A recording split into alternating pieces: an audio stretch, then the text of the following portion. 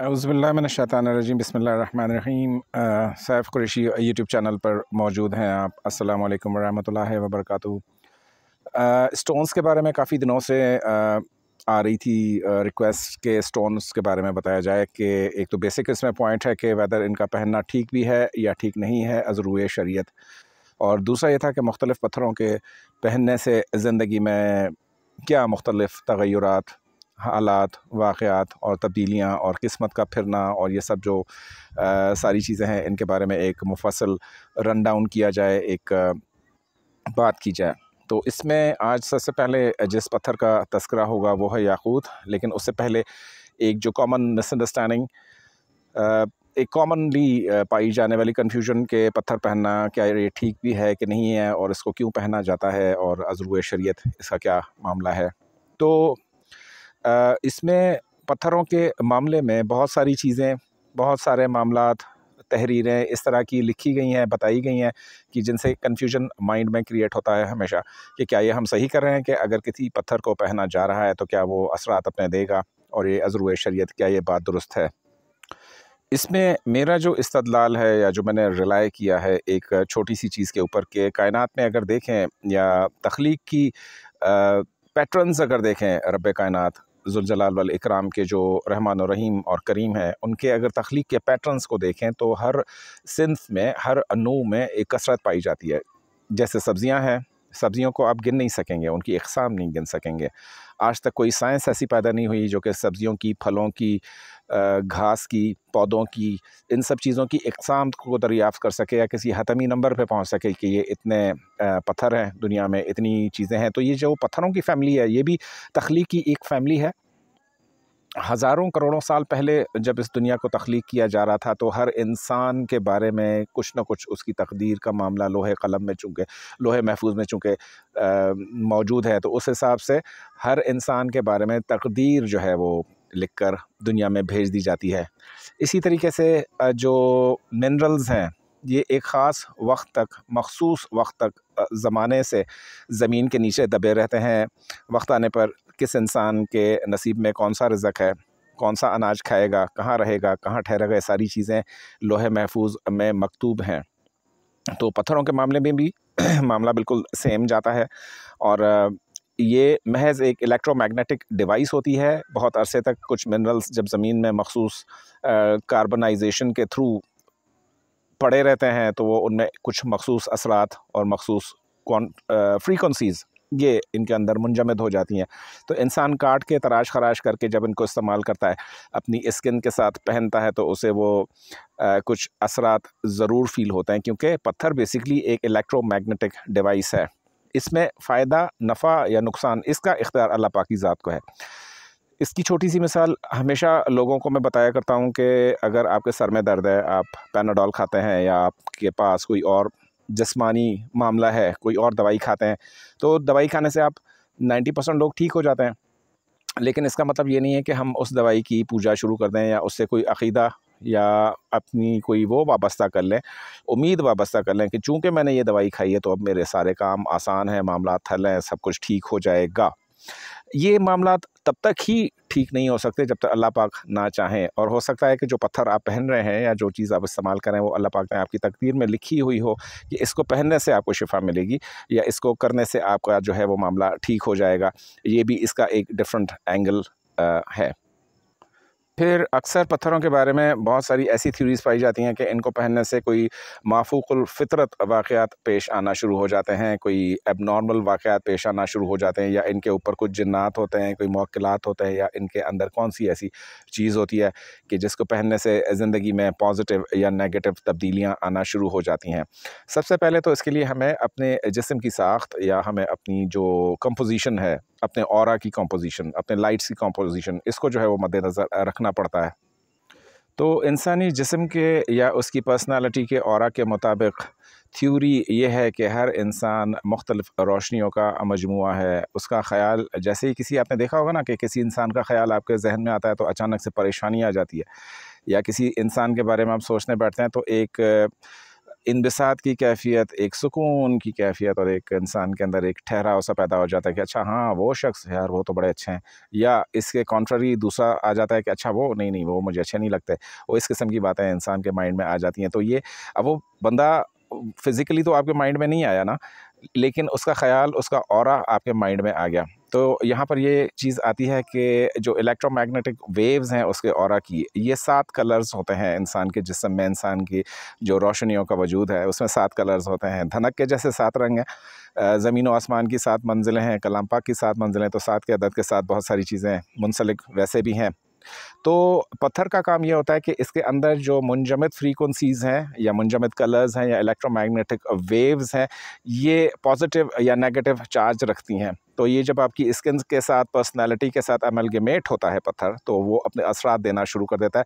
जैसे किसी की पर्सनालिटी में लाल रंग की कमी है, तहरीक नहीं है उसके अंदर, बैठा रहता है सारा दिन, सुस्त पड़ा हुआ है, डल है, बिल्कुल उसके काम नहीं हो रहा है मुंजमद तो उसको हमेशा मैंने याकूत जो है वो सजेस्ट किया है। वो याकूत पहनाने के बाद कुछ अरसे में उसकी जो इलेक्ट्रोमैग्नेटिक फ्रीक्वेंसी है जिसम की वो उसकी ठीक होना शुरू हो जाती है और वो अपने रोज़मर्रा के काम काज को बहुत अच्छे तरीके से अंजाम देना शुरू कर देता है और फिर इसका ताल्लुक़ चक्रास से होता है लताइफ नफ्स जो है, वो सात लताइफ होते हैं इंसान की बॉडी के अंदर और ये सेवन एनर्जी सेंटर्स होते हैं। तो हर पत्थर किसी ना किसी एनर्जी सेंटर को एक्टिवेट कर देता है या उसको स्लो डाउन कर लेता है उसकी फ्रीक्वेंसी तो ये इतना सा कॉन्सेप्ट है।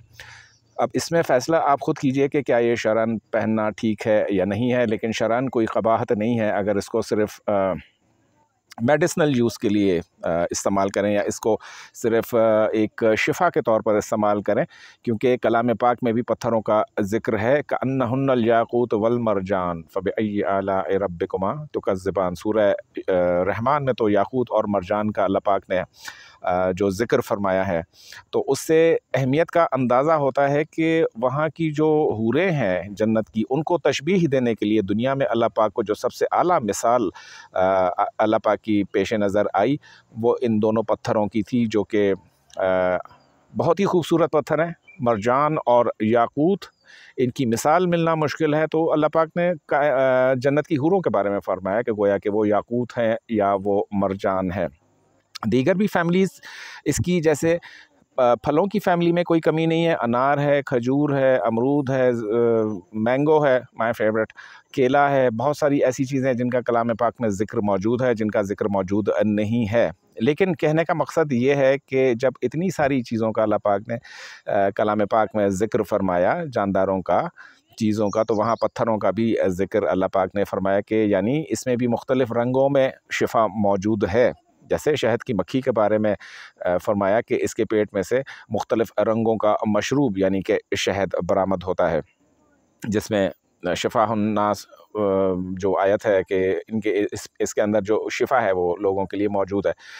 तो पहले बात करते हैं याकूत के सिलसिले में और आइंदा वीडियो में फिर ज़मरुद और फ़िरोज़ा और ओपल स्पेशली ये चार पत्थर जो हैं वो मुझे डिस्कस करने हैं ब्रॉडली याकूत जो है, वो हर उस इंसान को फ़ायदा देता है जो कि बुरज असद से ताल्लुक़ रखता है या बुरज असद के बाद सबसे ज़्यादा जो बेनिफिट याकूत देता है, वो उन लोगों को देता है जो इतवार के दिन पैदा हुए हैं या जिनकी रास में या जिनके जायचे में शम्स जो है, उसकी पोजीशन नाकस है। याकूत का ताल्लुक़ शम्स से है, यानी सूरज से है ऐसी तमाम कंडीशंस में जहाँ पर किसी का नसीब बिल्कुल ही वो ठप हो गया हो, काम, कारोबार की बढ़ने के कोई चांसेस ना हो, उसकी अपनी एंग्जाइटी की वजह से, उसकी अपनी डिप्रेशन की वजह से तो उस सूरत में हमेशा याकूत तजवीज़ किया जाता है। याकूत का जो बेस्ट कॉम्बिनेशन बनता है, वो सिल्वर में हमेशा बनता है और इसको मोस्टली मैं रिकमेंड करता हूँ third finger of the right hand में पहनने के लिए इतवार के दिन सूरज निकलने के एक घंटे के अंदर इसको पहनना चाहिए। ख़वातीन के लिए याकूत का वज़न जो है वो तीन कैरेट से कम नहीं होना चाहिए और मर्दों के लिए तकरीबन five to six carats minimum इसका जो वज़न है वो होना चाहिए। याकूत को पहनने से जिसम में एक तहरीक पैदा होती है। याकूत को पहनने से जिसम में एक ख़ास किस्म की तोानाई एनर्जी और फीलिंग डेवलप होती है। एक आपके अंदर मायूसी, वसवसा एंगजाइटी डिप्रेशन और फियर ये याकूत जो है वो इसका किलर है। ये एंटीडॉट है इन सब चीज़ों के लिए। पत्थर को जब भी आप पहने तो पहले ये दम पाक होता है, इसको पाक करने का तरीका होता है और उसके ऊपर दम किया जाता है। यूँ ही बाज़ार से ख़रीद कर जो लोग पहन लेते हैं वो यही है कि जैसे कोई खुली मिठाई बाज़ार में पड़ी हो, थाल में सजी और उस पर बेतहाशा मक्खियाँ बैठी हों और वो इंसान ख़रीद के खा ले तो ये थोड़ी सी चंद एहतियातें होती हैं याकूत को या दीगर पत्थरों को पहनने के लिए। फिर पत्थर जो है ये अल्लाह पाक का ज़िक्र करते हैं। और जब ये ज़िक्र करते हैं तो ये आपकी बॉडी के साथ अगर ये पत्थर लगा हुआ है और ज़िक्र में मशगूल है तो आपको कोई ना कोई पॉजिटिव एनर्जी कोई ना कोई पॉजिटिव ये फीलिंग ज़रूर देगा। दूसरा यह है कि याकूत के अंदर एक कुदरती सलाहियत होती है कि ये आपके मिजाज को हमेशा यकसा रखता है, दुरुस्त रखता है, ज़्यादा मिजाज में तगैरत वाक़ नहीं होते। बहुत सारी चीज़ें, ऐसे मामला जहाँ सच्चे ख्वाब आना या ऐसी आपके अंदर कशिश पैदा करना जहाँ पर जैसे देखें कि बहुत सारे लोग होते हैं ना, उनका और वीक होता है, उनकी तालीम बहुत अच्छी है, काबिलियत बहुत अच्छी है, हुनर बहुत अच्छा है, लेकिन क्या प्रॉब्लम है कि उनको चांस नहीं मिलता लाइफ में? तो याकूत जो है, वो आपके और में इस तरीके से अमेलगमेट हो जाता है कि ये चांसेस पैदा करता है। याकूत की काफ़ी सारी इकसाम होती हैं। याकूत जो है, वो सबसे बेस्ट याकूत पाकिस्तान में पाया जाता है, फिर अफ़गानिस्तान में पाया जाता है, फिर अफ्रीका का याकूत वो बहुत मशहूर है। अमेरिकन याकूत जो हैं, वो बहुत मशहूर हैं। ये जितना सुर्ख और ट्रांसपेरेंट होगा, ये उतना कीमती होगा। बाज़ याकूत जो हैं, वो डायमंड के बाद सबसे ज़्यादा कदर कीमत रखते हैं और बहुत ही महँगे होते हैं। समझें कि अगर बहुत ही क्लियर पत्थर हो और ख़ूबसूरत पत्थर हो और बहुत ही जाजब नज़र हो फ्रीक्वेंसी उस पत्थर की अच्छी हो, दूसरी बात यह कि पत्थर की फ्रीक्वेंसी आपको चेक करना आना चाहिए। अब इस वीडियो में इतनी सारी डिटेल्स, फ्रीक्वेंसी एक्सपेरिमेंट्स के लिए अलग मैंने वो एक प्लान किया हुआ है कि जब सारे पत्थरों के बारे में बात कंप्लीट हो जाएगी तो आपको समझाऊँगा कि पत्थर की फ्रीक्वेंसी को चेक कैसे करते हैं।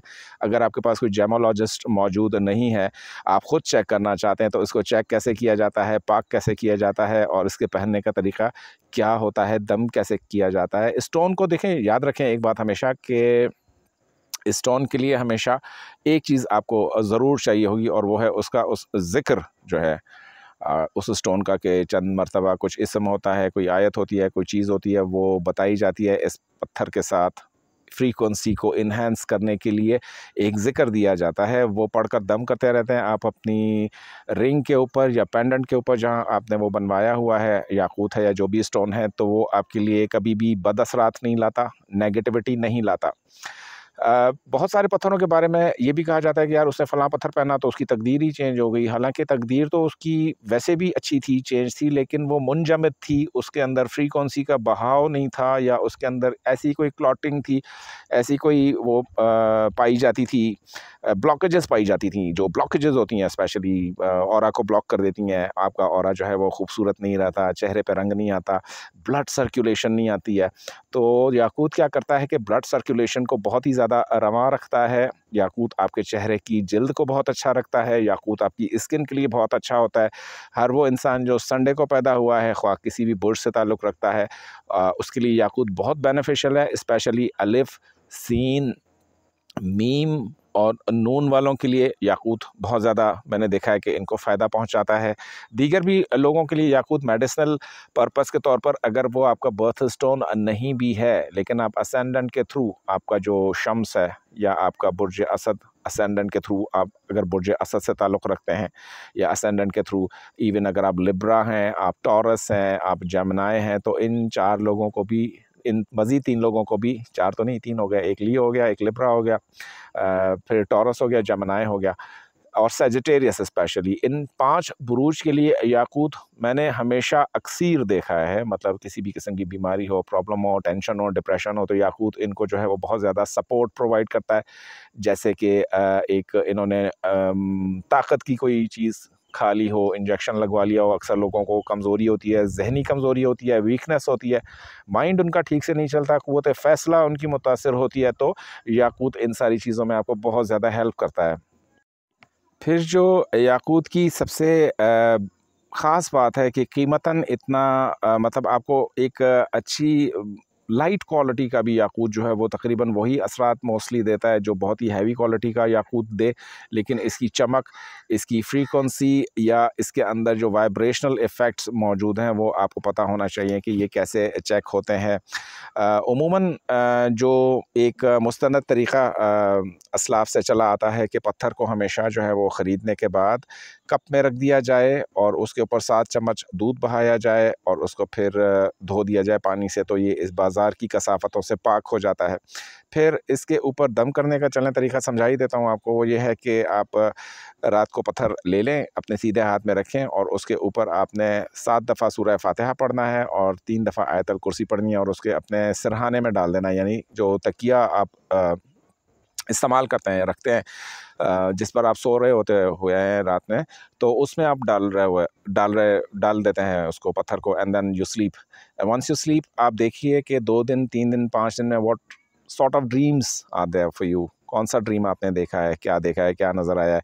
अगर बहुत ही ज़्यादा आपको ब्लैकिश सा रेडिश सा, कुछ इस किस्म का इस किस्म की चीज़ नज़र आए तो उस पत्थर को तर्क कर दीजिए। अगर ग्रीन नज़र आए, वाइट नज़र आए या अच्छी चीज़ नज़र आए ख्वाब में तो पत्थर will be good for you and पहनने का मैंने आपको टाइम बताया था, याकूत पहनना संडे के दिन सूरज निकलने के एक घंटे के अंदर साथ होती है शम्स की। और शम्स की साथ में पहनना ज़रूरी है और बस सीधे हाथ की थर्ड फिंगर में पहन लें।